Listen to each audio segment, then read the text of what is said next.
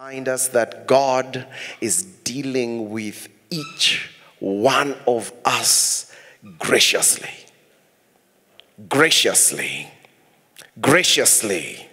Exodus 34 and verse 6 says, And the Lord passed before him and proclaimed himself, The Lord, the Lord God, I am merciful and gracious.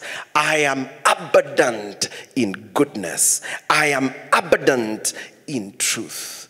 God is gracious. I keep mercy for a thousand generations. I forgive iniquity and transgressions and sin, for I am a gracious God.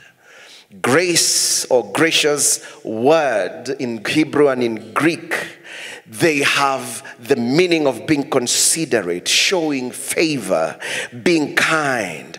Often it is used by one who is senior, bigger, senior, bigger, better, more endowed in more power and authority, and showing it to those who do not deserve. Is to show love, is to show compassion, is to have pity, is to have a disposition of goodness and kindness. When God looks at you and me this morning, in spite of our status, He is looking at us with love and compassion and kindness, and He has a disposition of doing good.